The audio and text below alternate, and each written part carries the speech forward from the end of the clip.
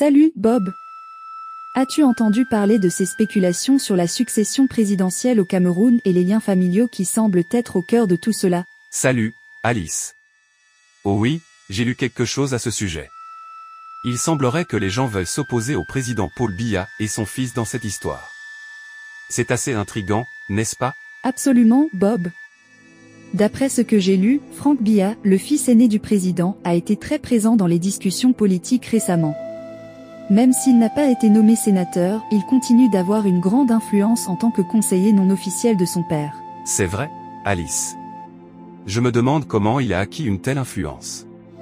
Tu sais, il doit y avoir plus que ce que l'on voit en surface. Pourtant, cela soulève la question de savoir s'il pourrait être le potentiel successeur de son père à la présidence. Tout à fait, Bob. Il semble que la famille Biya ait un rôle important dans le paysage politique camerounais. Le président Paul Biya est au pouvoir depuis si longtemps et même son épouse, Chantal, joue un rôle influent dans la politique. Oui, c'est fascinant comment une famille peut avoir une telle empreinte sur le pays.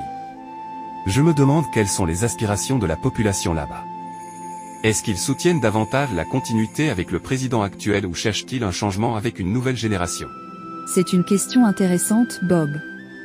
Certains voient en Frank Biya un potentiel dauphin, tandis que d'autres continueront de soutenir son père. Les apparitions publiques de Frank Biya sont scrutées à la loupe, à la recherche d'indices sur le soutien potentiel de son père pour sa succession. Cela me rappelle à quel point la politique peut être complexe, surtout lorsqu'il s'agit de succession. Tu crois que cette histoire aura des retombées durables sur le pays? Tout à fait, Bob. Il semble que la famille Biya ait un rôle important dans le paysage politique camerounais. Le président Paul Biya est au pouvoir depuis si longtemps et même son épouse, Chantal, joue un rôle influent dans la politique. Oui, c'est fascinant comment une famille peut avoir une telle empreinte sur le pays. Je me demande quelles sont les aspirations de la population là-bas.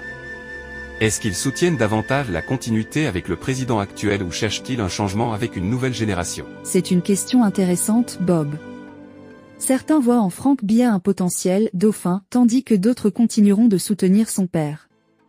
Les apparitions publiques de Frank Biya sont scrutées à la loupe, à la recherche d'indices sur le soutien potentiel de son père pour sa succession. Certainement, Bob.